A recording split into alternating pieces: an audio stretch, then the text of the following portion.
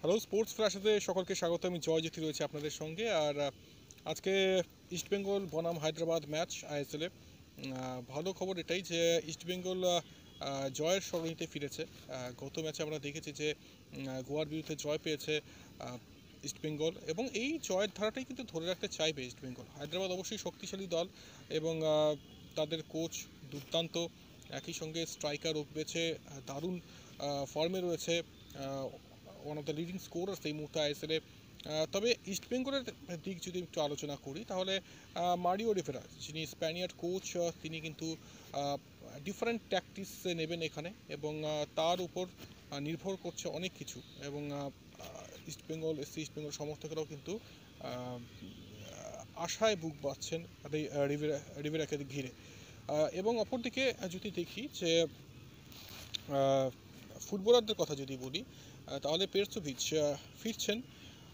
পাঁচ ম্যাচের সাসপেনশন কাটিয়ে ফিরছেন। তিনি কিন্তু দুর্দান্ত উইঙ্গার এবং গোল করতে জানেন। এখনও অবধি টপ স্কোরার ইস্টবেঙ্গলের হয়ে পেরসোভিচ এবং একই সঙ্গে নতুন রিক্রুট মার্সেলও রয়েছেন। মার্সেলে এবং পেরসোভিচের মধ্যে কেমিস্ট্রি কীরকম হয় সেটার অপেক্ষায় কিন্তু আমরা থাকছি এবং হোপ ফর দ্য বেস্ট আজকে ভালো কিছু অপেক্ষা করছে, আশা করব ইস্টবেঙ্গলের জন্য। তবে যদি হায়দ্রাবাদকে হারাতে হয়, তাহলে টোটাল ফুটবল খেলতে হবে ইস্টবেঙ্গলকে যেমন ডিফেন্স তেমন মিডফিল্ড তেমন ফরওয়ার্ড টোটাল ফুটবল খেলে হায়দ্রাবাদকে আটকাতে হবে, অথবা হায়দ্রাবাদকে পরাজিত করতে হবে। নচেত হায়দ্রাবাদ কিন্তু জিততে চাইবে। গত তিনটি ম্যাচে হায়দ্রাবাদ জিততে পারেনি।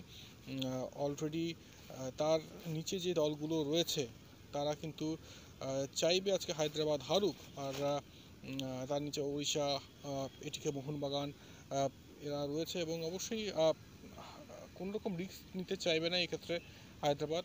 সরাসরি জিততে চাইবে এবং শেষ চারের লড়াই যাওয়াটা আরও প্রশস্ত করতে চাইবে এক্ষেত্রে হায়দ্রাবাদ।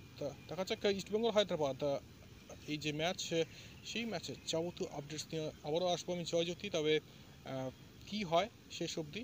কে শেষ হাসি হাসে? সেটা দেখার অপেক্ষা অবশ্যই আমরা থাকব।